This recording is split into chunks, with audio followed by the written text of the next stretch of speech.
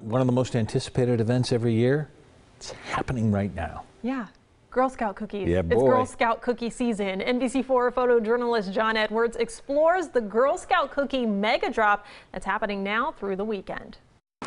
It's one of the biggest days of the year. It's cookie delivery, and you're at the Mega Drop. Over a million packages of cookies are going to leave this this warehouse space. How many cookies can be packed into a minivan versus a U-Haul? And at one time, we even had a hearse come through here, which was interesting. A lot of the cookies that are going out today were pre-ordered. New this year, um, DoorDash is partnering with us. You can go to the DoorDash app and look it up and get your cookies on typically Fridays, Saturdays, and Sundays during specific hours.